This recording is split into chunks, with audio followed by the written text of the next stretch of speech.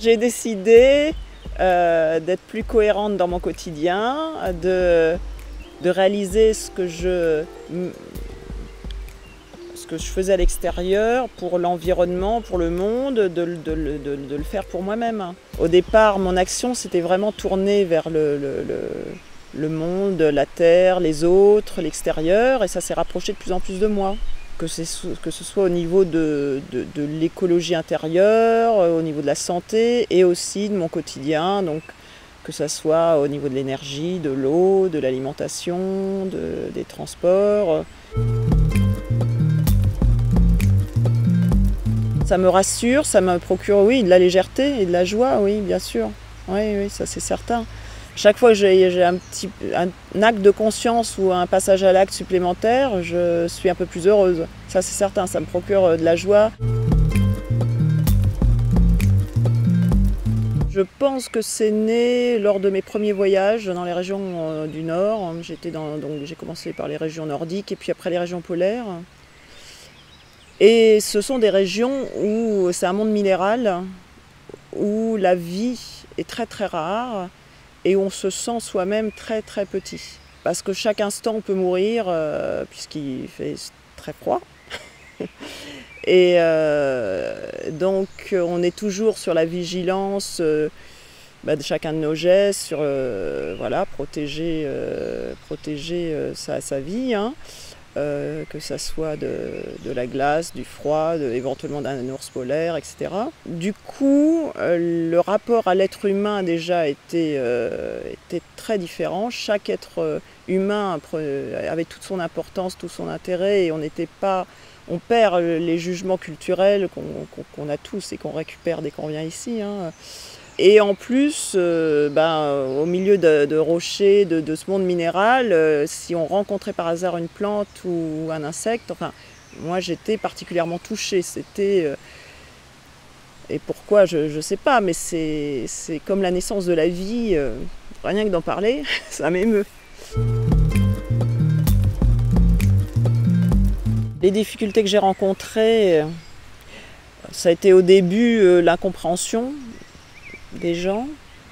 Hum, Sinon, personnellement, ça a pu être aussi euh, des moments euh, peut-être parfois de frustration. J'ai peut-être parfois poussé mon jusqu'au boutisme un petit peu trop loin par rapport à mes capacités de euh, voilà par rapport à mes capacités d'accueil de ce militantisme on va dire.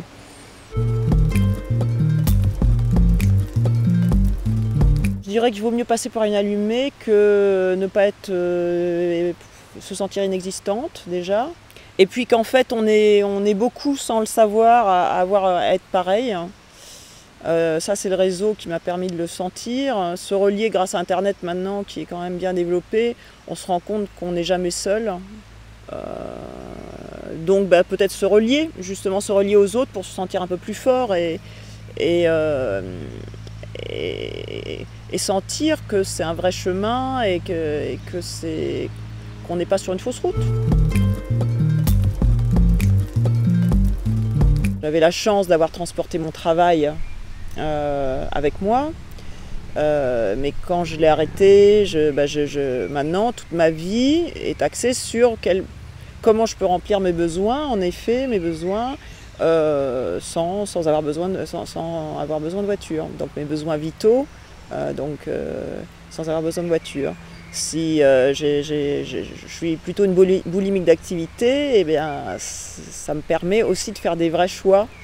Ça m'oblige à pas être solitaire dans mes décisions. Donc j'ai fait le choix d'utiliser un cuiseur solaire que mon frère a fabriqué. Alors le système du cuiseur solaire, c'est euh, la focalisation plutôt des rayons de solaire sur, un point central.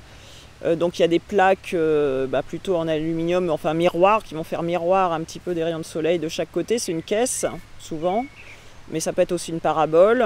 Donc les rayonnements sont réunis en un point central, et puis après il y a une caisse tout autour, éventuellement pour accumuler aussi pour la chaleur, pour la récupérer. Ça, c'est le cuiseur solaire fermé, mais les paraboles, c'est même ouvert tellement c'est efficace, donc on peut cuisiner directement dedans. Et bien, le résultat de, de euh, euh, cet acte, c'est que depuis trois semaines, je n'utilise plus mon gaz. Forcément, il y a des, prises de conscience de plus en plus rapides, avec quand même Internet qui a joué, je pense, un énorme rôle là-dedans. Euh, avant, il y avait des actions et des initiatives, des initiatives qui se prenaient à l'autre bout de la planète en même temps, mais on ne le savait pas. Maintenant, ça se sait très rapidement. Euh, donc ça permet d'amplifier chaque, chaque, chaque, initiative, chaque acte, chaque, chaque changement de conscience. Ça, ça, ça, l'augmente d'autant plus euh, l'effet d'escalier de, palier qui, est nécessaire pour des, changements euh, est visible. Enfin, voilà.